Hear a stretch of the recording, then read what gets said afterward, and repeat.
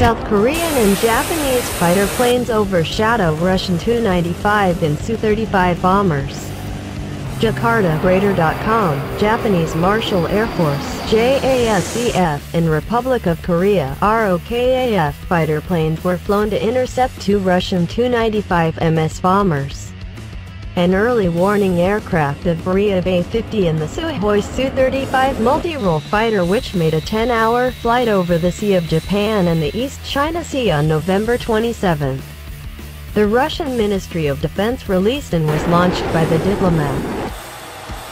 Two Tu-95 MS strategic bombers from the Air Force carried out planned flights in neutral waters of the Sea of Japan and the East China Sea, said a statement from the Ministry of Defense. Its flight, long-range bombers were escorted by Su-35S fighter jets and Russian Air Force's A-50 long-range radar surveillance aircraft. The flight lasts more than 10 hours.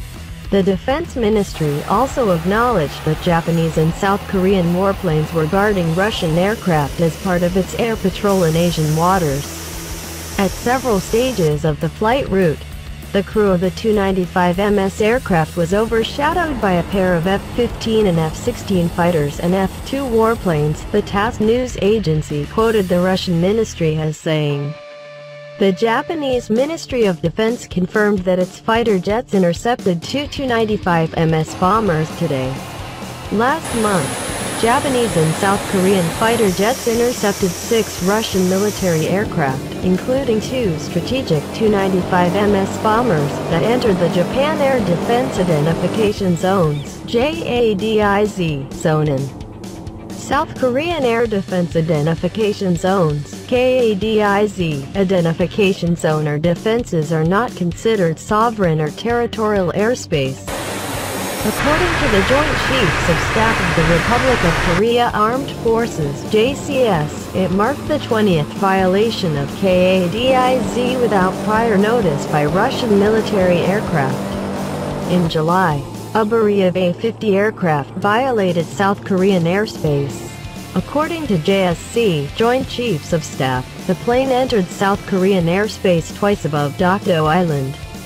The South Korean Air Force flew the F-15K and F-16K in response and fired 20 flares and 360 machine gun bullets as warning shots after the A-50 purportedly ignored repeated radio warnings.